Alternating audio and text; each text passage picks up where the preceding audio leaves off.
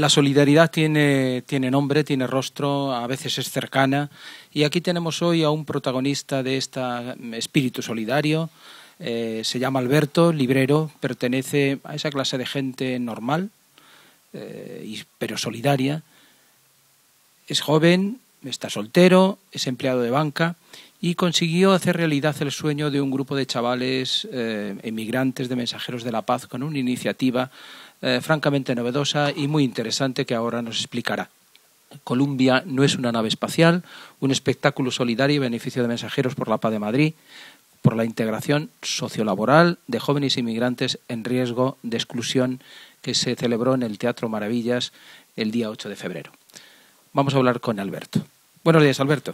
Buenos días, José Manuel, muchas gracias. ¿Quién eres, además de, además de... Eres un agente normal, me imagino, ¿no?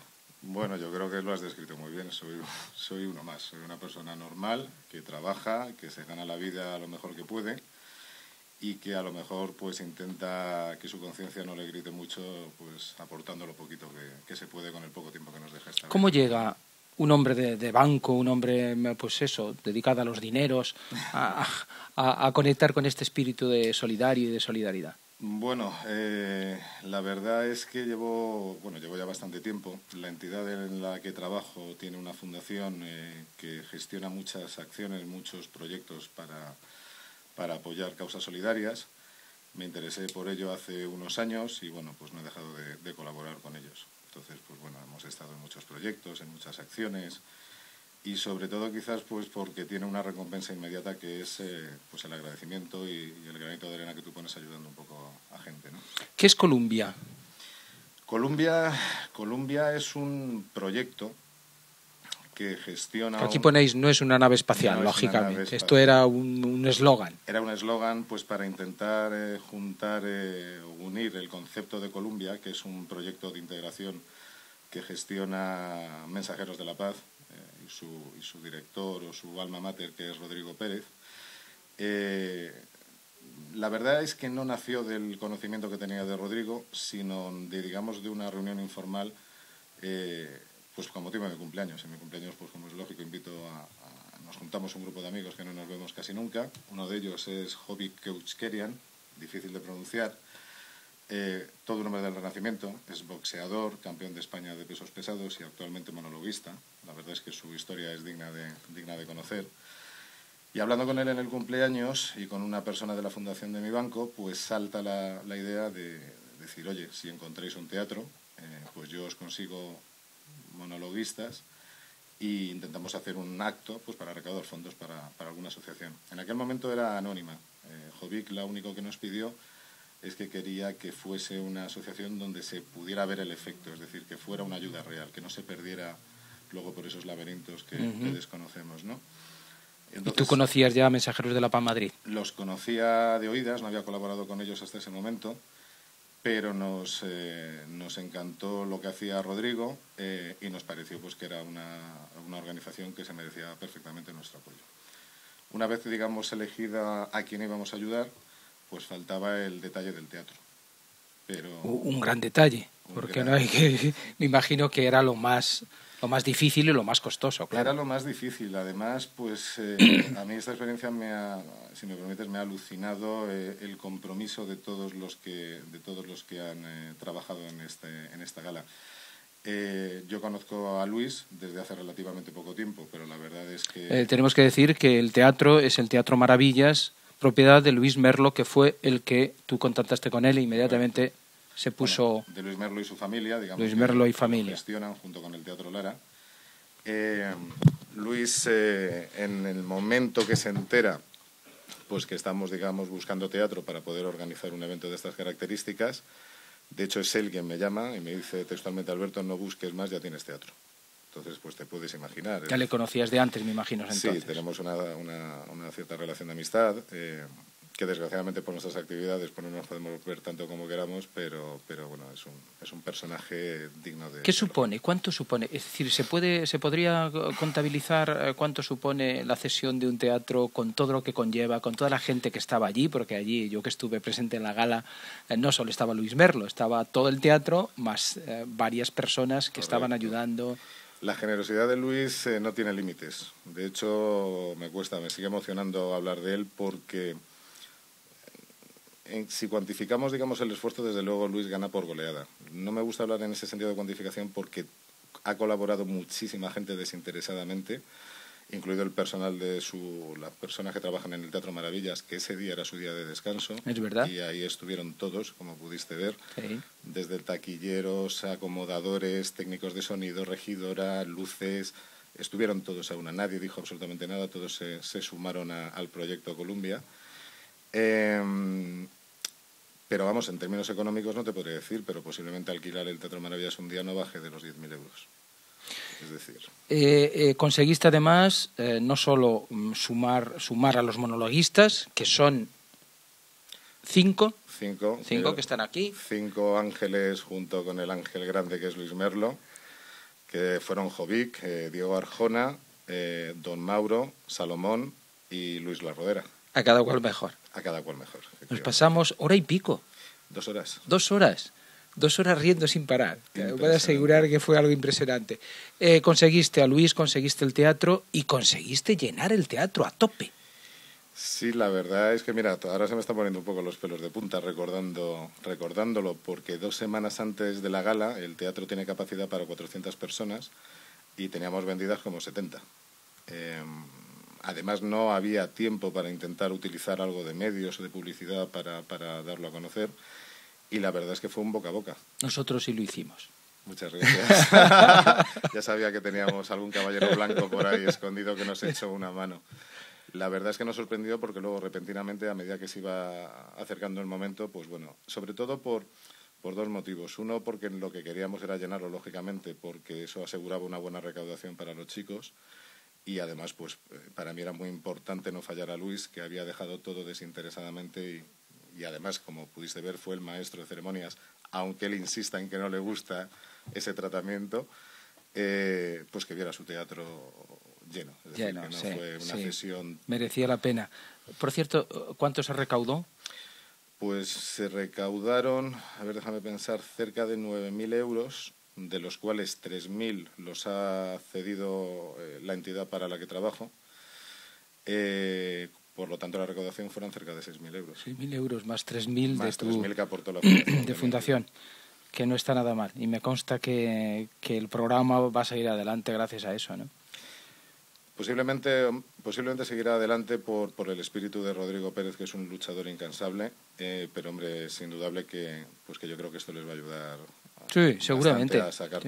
yo que conozco que estoy metido, además, eh, tutelando uno de esos pisos y, conozco las tripas del proyecto y sé que en este momento, gracias a vosotros, eh, va a continuar, ¿no? Y, porque hay que decir que este proyecto de inclusión social de estos chavales que al cumplir 18 años eh, salen de, de, los organismos de la Comunidad de Madrid o de los organismos estatales, no tiene subvención absolutamente ninguna a nivel oficial ni a nivel a nivel gubernamental, digamos, ¿no? Y entonces eh, pues se mantiene de este tipo de ayudas como la vuestra o como los, los equipos que estamos ayudando también ahí. Em, vamos otra vez a la, a la gala, eh, que fue impresionante, dos horas allí, los monologuistas excepcionales. Fantásticos. Además... Todos profesionales, porque... Todos profesionales, muy conocidos, como pudisteis ir viendo. Eh, el detalle, la, la, gracia de Luis La Rodera, por ejemplo, presentándose como el antiguo del Mundo 3 para que la gente le reconociese. Eh, fue, fue impresionante, fue una catarsis. Yo, yo ese día estaba completamente loco, estaba intentando que todo saliera bien, eh, no estuve casi pendiente ni de la gente que iba llegando, pero cuando por fin se apagaron las luces y empezó, dio comienzo el espectáculo con una presentación magnífica de Luis y con todo lo que vino después, hubo un momento que a mí me daba la sensación que ya no existía público y artista o escenario, habían desaparecido las barreras. Yo estaba sentado cerca de, lógicamente, cerca del escenario por si teníamos que hacer algo, y oía las carcajadas de los propios monologuistas desde dentro, o, o por ejemplo de los chavales, eh, no sé si te fijaste, hubo un detalle, nadie, eso fue completamente espontáneo, se encontraron con un revólver de juguete dentro de, escenario, y entonces improvisaron sobre ese elemento. Iba saliendo cada uno con el revólver en la mano y cada uno decía una chorrada que se le ocurría al respecto. Es verdad. Y hubo una que salió Salomón, con el revólver en la mano y decía, me he encontrado con esto dentro, no sé para qué me lo han dado, dice, será porque hay dos negros con muy mala pinta dentro, ¿no? Y claro, yo ya las carcajadas de los chicos desde dentro fue una catarsis. Y nosotros que sabíamos quiénes eran esos dos negros, que era Sadik e Inusa. E Inusa, sí, señor. eh, eh, la gala discurrió así durante dos horas, con una presentación, como dices, impecable y una implicación, porque a Luis, además de, hacer la presentación y de moderar un poco eso, eh, se le notaba que, estaba a gusto, que estaba implicado, que le salía del corazón lo que estaba haciendo. ¿no? Completamente de acuerdo. De hecho, pues eh, al final me impresionó, buscó un poema maravilloso, Vive, de, de William Saroyan, que me están pidiendo todas las personas que estuvieron en la gala, me están escribiendo para que por favor se lo facilite y yo creo que Luis se llegó a emocionar. O sea, le conozco a Luis y los ojos le estuvieron a punto de jugar una mala pasada, porque la verdad es que mantuvo el tipo perfectamente a lo largo de toda la gala. Iba a decir que no hubiera sido lo mismo sin su presencia, eso, eso es evidente. Dio un empaque al, evento que, que no hubiéramos conseguido de otra manera posiblemente, ¿no?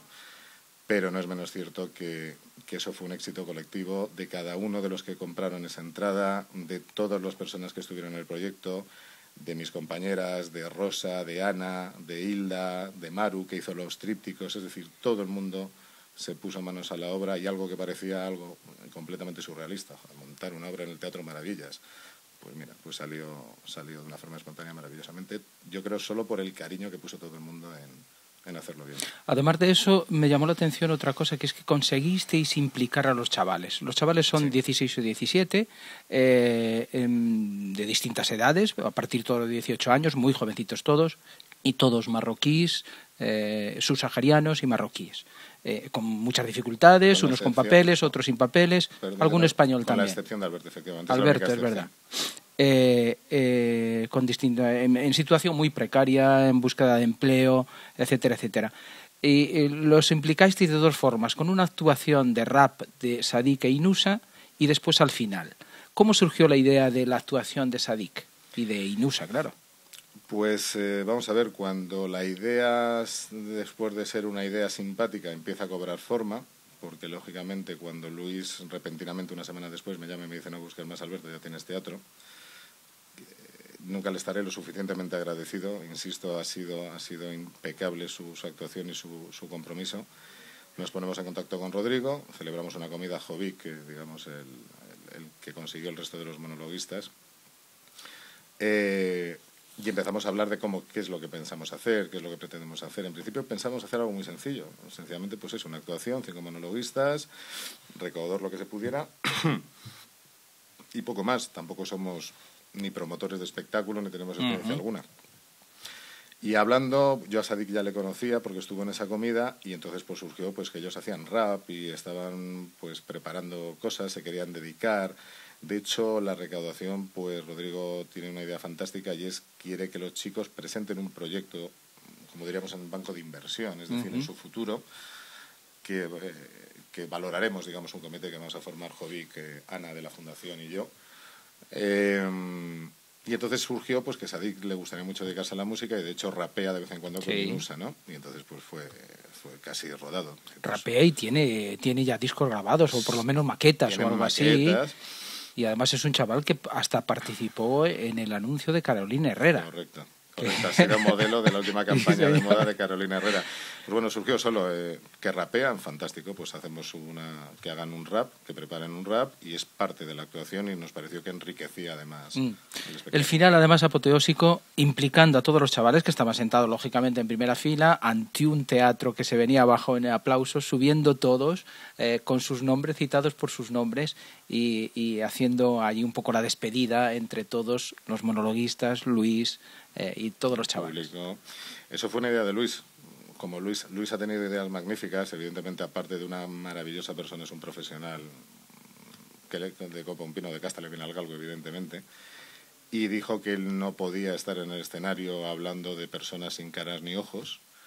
Eh, hay una anécdota que me, eh, entiendo Luis no se molestará que cuente. Me pidió los nombres de los 16 chavales para memorizarlo. Luis tiene una memoria prodigiosa, lógicamente, como un actor que es.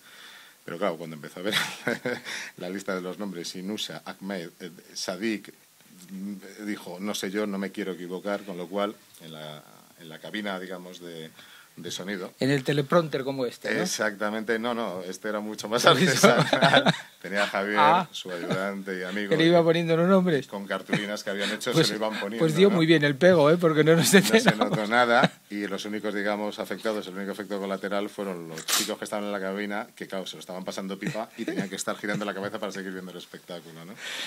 Eh, terminado el espectáculo, bueno, pues salimos todos encantados, eh, todo eran eh, parabienes, eh, felicitaciones. ¿Qué queda, además del dinero, además de la recaudación, además de la, de la buena obra, qué te queda a ti en el fondo como, como, como uno de los grandes eh, protagonistas o, de este Dios. evento? Pues una satisfacción, no sé. Yo fíjate, nos han, nos han llamado gente que estuvo, como bien dices, todos, todos nos han felicitado, pero yo creo que, digamos, la opinión más generalizada y lo más bonito que hemos podido sacar, al margen de, por supuesto, la ayuda y el apoyo a Mensajeros de la Paz, el comentario más generalizado fue, Alberto, durante dos horas no me he acordado de mis problemas. Eh, es, yo creo, lo que podría resumir un poco el sentir de todo el público que estuvo presente. ¿no? ¿A ti te hace sentir mejor persona? Porque incluso la gente que estaba allí y que había ido simplemente pagando su entrada a ver un espectáculo, pero la gente como que salía diciendo, oye, hemos- claro, nos hemos estado divirtiendo y al mismo tiempo hemos estado colaborando para una causa justa que hemos visto con rostros, con caras ahí delante, ¿no? No, hombre, yo creo que sería algo petulante por mi parte sentirme mejor persona. Yo creo que, que todos somos buenos y malos en, en diversas medidas, ¿no? Lo que me hace sentir es inmensamente feliz pensar que hemos podido echar un cable. Como dijo Jovic al final de la actuación, dice, a lo mejor esperemos que en el mañana tengáis un, un futuro bueno para vosotros y que penséis que en algún momento de la vida, pues, oye, os echamos una manita y con eso es suficiente, ¿no? Yo quizás me quede con eso. Yo creo que estas cosas uno las hace por, porque se lo pide el cuerpo, no, no, no piensas mucho más allá, ¿no? Alguien te pide ayuda y si tienes el tiempo y la posibilidad de hacerlo, dices, pues ¿por qué no? Si pasado Cambia- mañana me pueden ayudar a mí. Ujú. Cambia esa ayuda cuando le pones rostro. Muchísimo. Cuando, es decir, dejan de ser un número, dejan de ser emigrantes, dejan de ser chavales con dificultades y ya le sitúas. Sadik es Sadik, Inusa es Inusa y Indudable- Abdel es Abdel, ¿no? Indudablemente, indudablemente porque no voy a decir que te impliques más. Yo pienso que una vez que, que nace la idea nos implicamos todos a tope, pero indudablemente yo ya les conocía a los chicos, ya habíamos estado en la asociación un par de veces comentando temas, hablando de materias y tal. Pero evidentemente, pues al final los monologuistas estuvieron con ellos, Luis con todos, no sé, se creó, se crea otra, se crea otra relación. Otra dinámica. La, la, la, la respuesta de la gente también muy buena, ¿no? Muy buena, muy buena. Sobre todo ya, sobre todo lo que te comentaba antes, la felicidad que con la que la gente salía del teatro. Sí. Eso Sí, fue eso un efecto. Sí, fue un efecto que, que nadie pensamos. Honestamente, nosotros íbamos a recaudar lo máximo posible. Nuestro objetivo era que estos chicos tuvieran la mayor cantidad de dinero que pudiéramos obtener posible para que hicieran realidad pues el sueño de Sadik Inusa de intentar grabar una maqueta o hacer un curso de sonido, otro chaval que le gusta la jardinería que haga su curso de jardinería, es decir, van a ser proyectos de inversión en su futuro.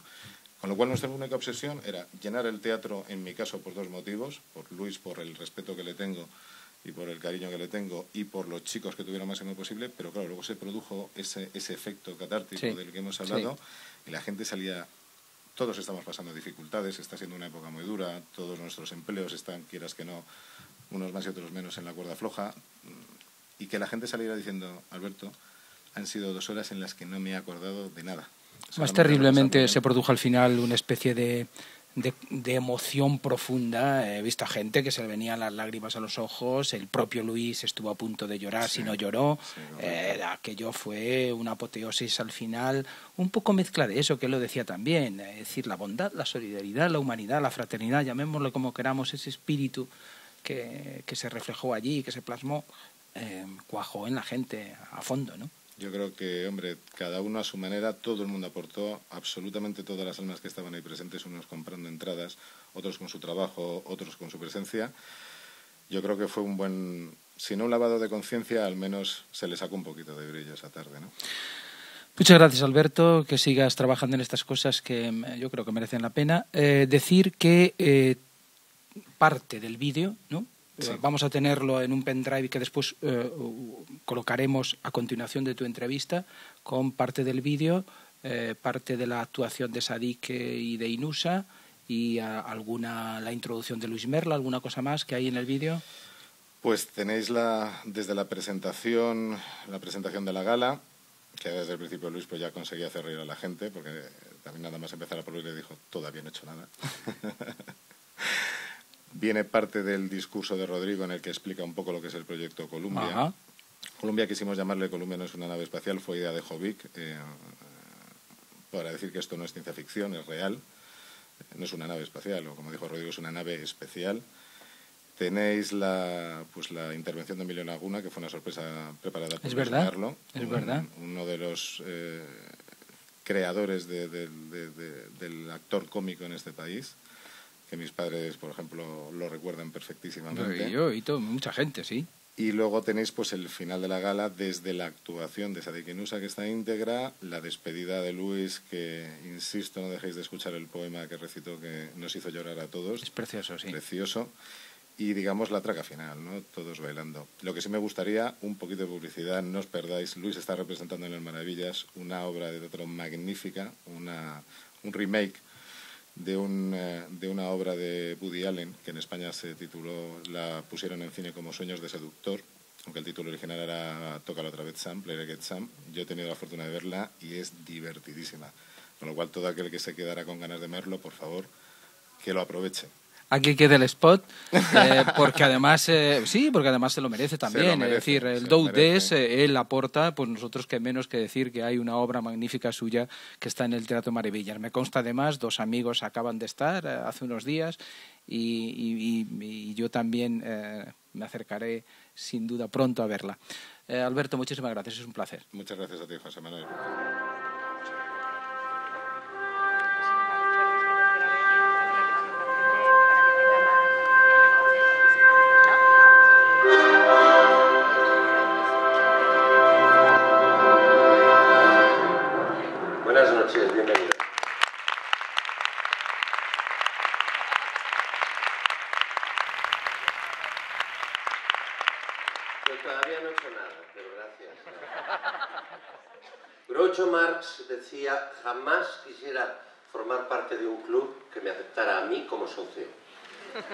Eh, yo me siento bastante identificado con esta frase porque hay y habrá club, clubs sociales bien vistos, a los que nunca he pertenecido ni he querido pertenecer, y más si tuvieran la desfachatez de aceptarme a mí como socio, porque yo soy un, un hombre más bien solitario, un iconoclasta, con tendencia a saltarme las normas y con un amor desmedido por la ética. Esta gilipollez que os acabo de decir me ha costado 44 años averiguarla. Y no sé cuántas horas de terapia. Pero finalmente, iluminado por esta gilipollez que he dicho, em, estoy contento de formar parte esta noche de este club, de ser socio de este club, es que forma el proyecto Columbia de los mensajeros de la paz de Madrid. Eh, mi participación en esta historia nace de dos cosas. La primera de todas, la amistad, que es desde donde tendría que nacer todo. ¿Te pongo colorado ahora, Alberto, o espero para más tarde? Casi lo dejamos. Ya estás colorado, pues aprovecho. Estoy aquí por Alberto Librero. Ya está, ya está sufriendo. Alberto es ese tipo de persona que alberga tanta bondad dentro que cuando le conoces no puedes evitar ponerle a prueba. Porque te preguntas, ¿es posible que una persona sea tan buena? Porque es molesto que una persona sea tan buena. ¿Por qué más bueno que yo? No. Y según le vas conociendo te das cuenta de que no hay trampa ni cartón. Y estoy muy orgulloso de tu amigo. Igualmente, gracias.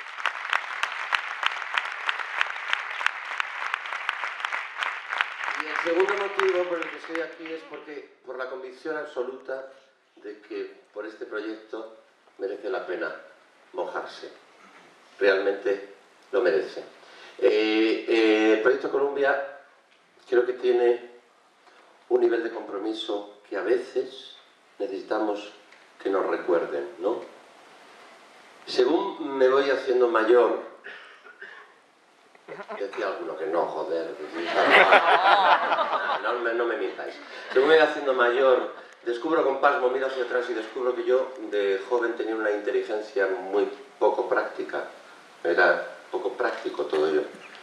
Eh, y, y yo creo, o defino la inteligencia práctica como aquella que en vez de perderse en el mundo de las ideas, es capaz de poner algo en marcha.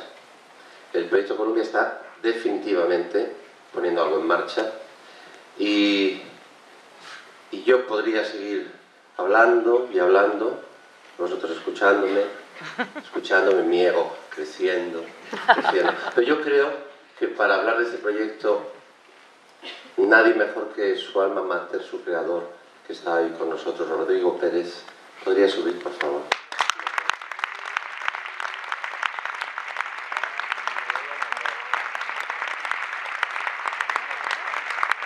Antes que nada, Rodrigo, ¿qué tema nos vas a cantar?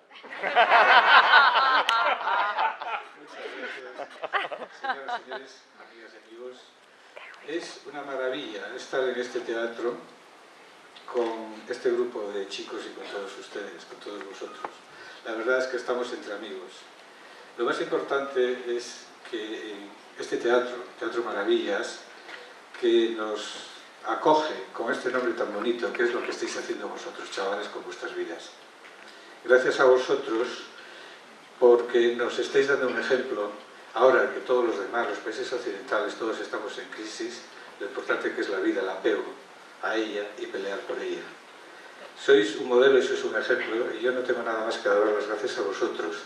Y al resto de las personas tengo que deciros que no estamos solos y que este proyecto no es una nave, eh, no es una nave espacial, es algo especial, porque es de todos vosotros y es lo más importante. Lo más importante es que este programa, yo cada vez voy menguando, cada vez voy siendo más pequeño y cada vez voy siendo más insignificante, porque vosotros lo estáis llenando. Cantidad de voluntarios, cantidad de personas que estáis haciendo que estos críos que vinieron aquí siendo menores, siendo niños, y entonces los organismos oficiales, los organismos públicos, bueno, pues ¿qué vamos a hacer? Vienen, son menores, os tendremos hasta los 18 años, pero a los 18 años aire. Tenéis, hay una legislación, hay unas leyes, tenéis derecho a una documentación, pero vais a salir sin ella. Tenéis derecho a una, educación, pero vais a salir sin la educación, como estéis a los 18 años. El día que cumpláis, los años vais a pagar las, a la vena de, tar- de la tarta donde podáis. Es vuestro asunto. Nosotros hemos dicho no, y vamos a seguir diciendo no. Pero como os decía antes de venir aquí, me habéis complicado la vida porque habéis respondido todos. Todos, los que estáis y los que pasasteis. Y no queda más remedio que seguir. Pero estamos ganando. Hemos ido al defensor del pueblo, hemos ido a muchos sitios y hoy la legislación ya contempla que por lo menos a los chicos que se les escuche. Hemos ganado que ya los chicos no pueden ir a las 7 de la mañana por ellos y llevarlos, y meterlos en un avión. Hoy estamos todos los que estamos aquí en el programa Columbia, menos un chico, porque está enfermo, está de gripe. Pero cuando lo llamo ahora, antes de empezar, me dice que se le ha muerto su abuelo.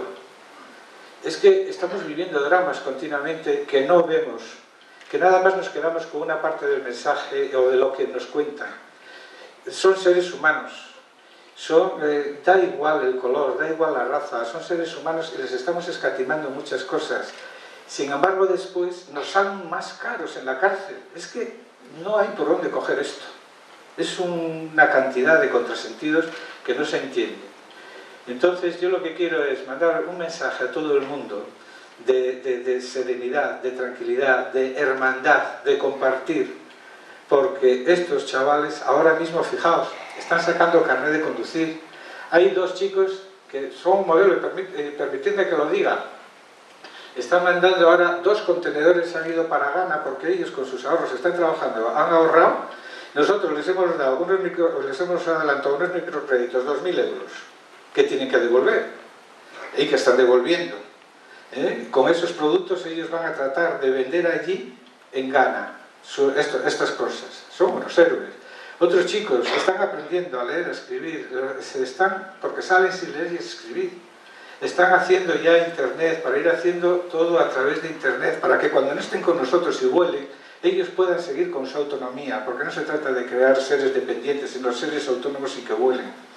Porque por eso Columbia no es una nave espacial, es una nave especial. Y aquí hay muchísima gente, ¿eh? muchísima gente, que los conocéis y que habéis estado con ellos, ¿eh? y que os habéis quedado sorprendidos ¿eh?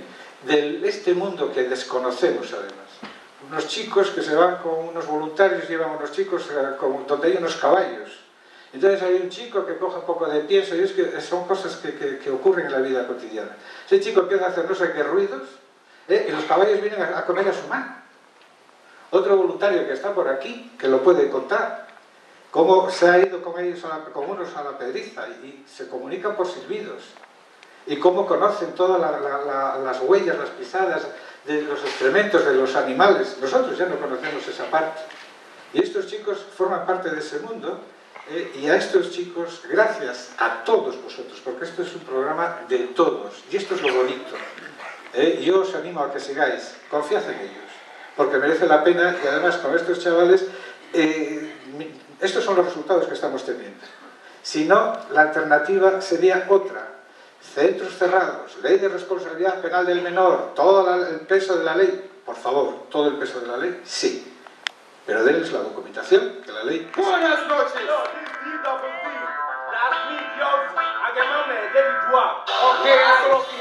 Espero que utilizáis. Ya tú sabes.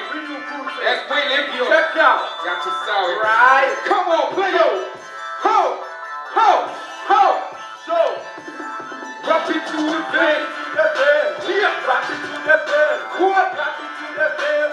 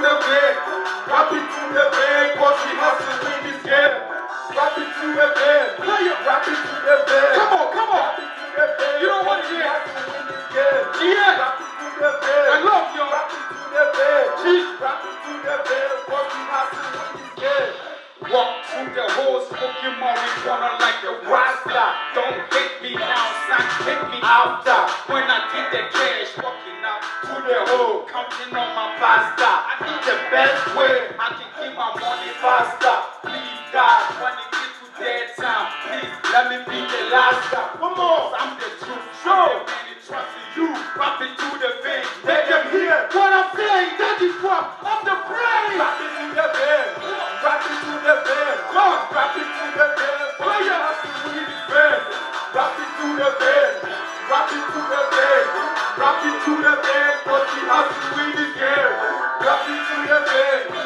Deus,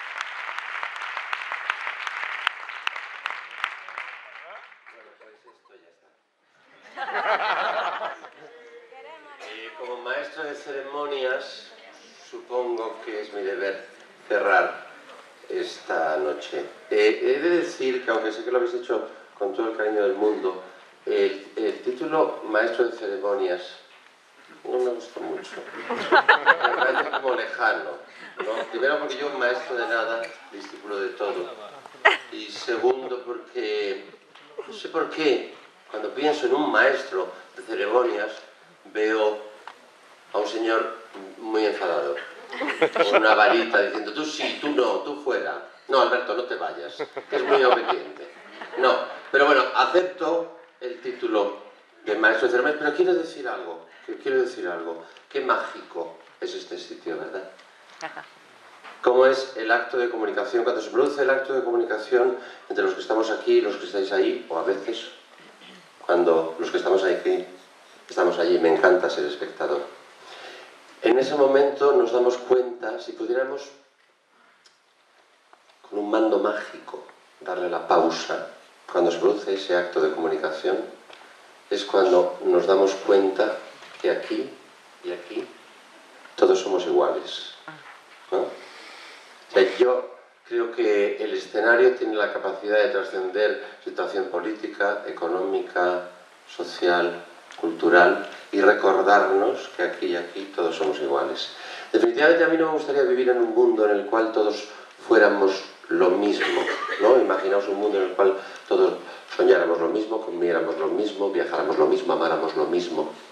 Para mí sería un mundo realmente aburrido, pero sí definitivamente me gustaría vivir en un mundo en el cual todos pudiéramos ser iguales. Y para mí, para que exista ese mundo hay una condición sine qua non, que todos tengamos las mismas, iguales oportunidades. Yo pienso que solo somos capaces de desarrollar nuestros sueños, por grandes o pequeños que sean, aquellos que vivimos, aquellos a los que condenamos a sobrevivir. Solo pueden hacer eso durante las 24 horas del día. Sobrevivir. Y a mí hay un término que me gusta menos que maestro de ceremonias. Bueno, este más que no gustarme directamente me jode. Me parece un acto de cinismo. Es lo de mundo desarrollado, mundo subdesarrollado. Porque si a estas alturas del partido sigue habiendo países subdesarrollados, es que a los países desarrollados nos conviene que existan por lo que sea y punto. Esa es la verdad, para mí. Entonces,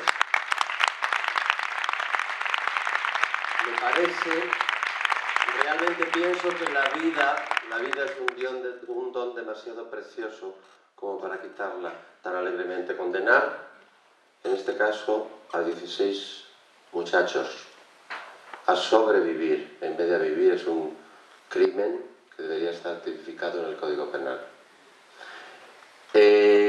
Me quiero despedir con unas palabras que el dramaturgo William Saroyan escribió y que expresan muchísimo mejor que yo lo que, lo que, lo que debe ser la vida.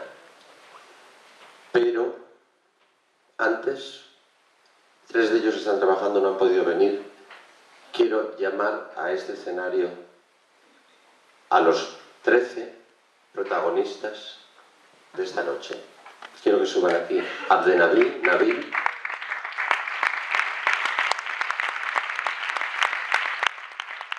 Alberto, Inusa, Sarik.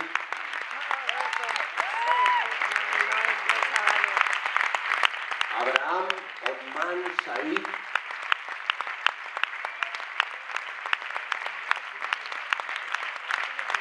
Mustafa,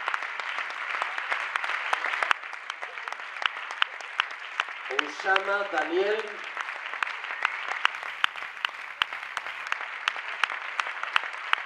Mohamed Félix. Subir aquí todos.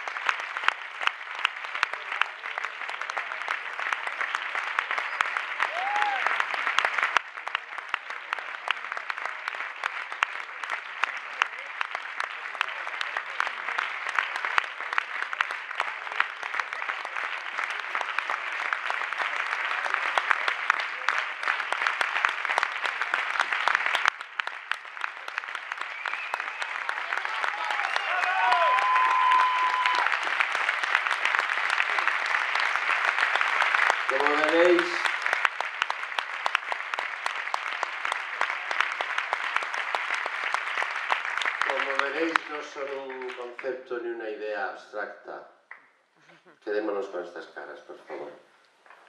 También quiero llamar a los cinco maravillosos monologuistas que han estado aquí con nosotros. Por favor, salud.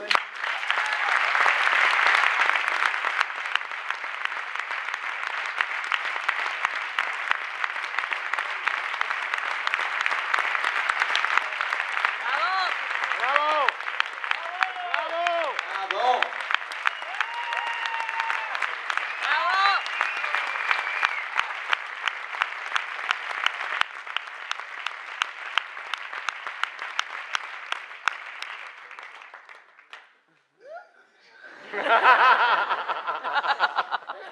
Eh, gracias a todos por venir. Eh, gracias a ti, Luis, por nos ha cedido el teatro. Eh, ha sido el maestro de ceremonias. Es un- Yo no lo conocía. No, no lo conocía. Prometido, ya. Efectivamente, vamos a tener niños. Y se ha portado como un crack. Alberto ha trabajado mucho, y Hilda ha trabajado mucho, Ana, gente que no conozco el nombre también ha trabajado mucho, Rodrigo, todos. Eh, un aplauso muy grande para todos ellos y para Luis Merlo, por favor. Gran-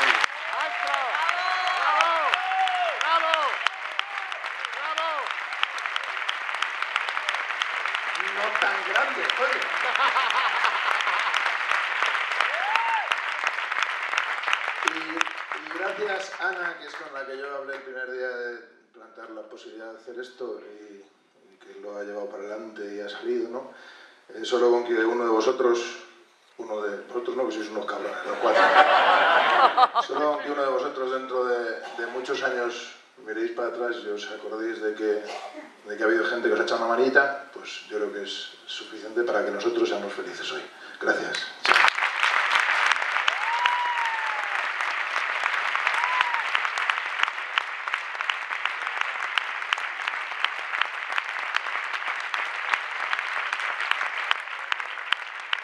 ¿Ves cómo somos unos llorones, Elisa?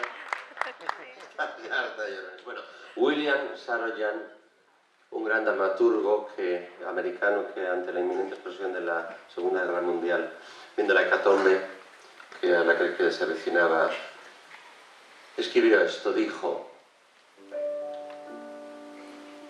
gracias. No, esto no lo dijo William Saroyan, esto lo digo yo, porque Javi sabe que me encanta el piano y me ha hecho este regalo. Por cierto, ya me vale, ya me vale.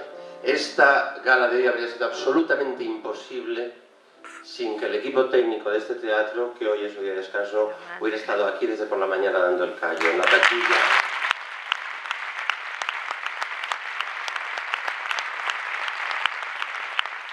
Ellos ellos son mi familia, algunos de ellos literalmente, y a los otros los siento como tal. En la taquilla Isaac, en la puerta Ricky, en la oficina Carlos Larrañaga Jr., te quiero. Y Eva, coordinándolo todo, ahí en esa cabina, mi Javi, mi otro Javi, Leire. En esta sala Sandra. Y aquí dentro, y Andrea, perdóname. Y aquí dentro, nuestra Marisa Pen Pino. No puedo vivir sin ti, pues, ¿sabes?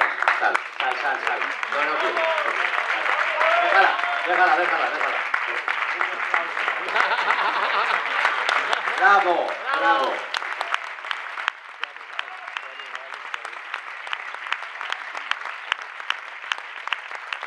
Y ahora sí, ahora sí. Ahora sí voy a estas palabras que escribió William Saroyan, fundamentalmente porque este tipo de actos conviene que terminen el mismo día que empiezan.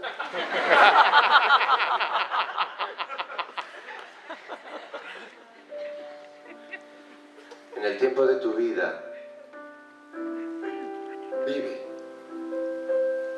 Busca la bondad en todas partes y cuando la encuentres, sácala de su escondite y déjala que viva en libertad y que respire orgullosa.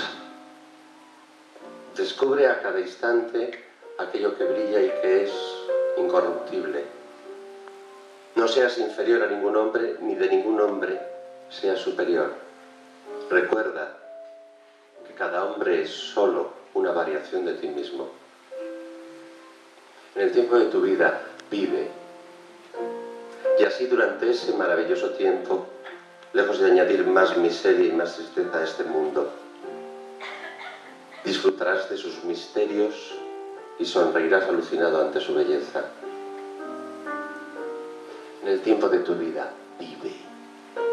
Agarra la mano que se tiende hacia ti en busca de ayuda y apriétala fuerte y no la sueltes nunca. Y así, cuando llegue el final, los ojos de aquellos a los que ayudaste a vivir un poco mejor.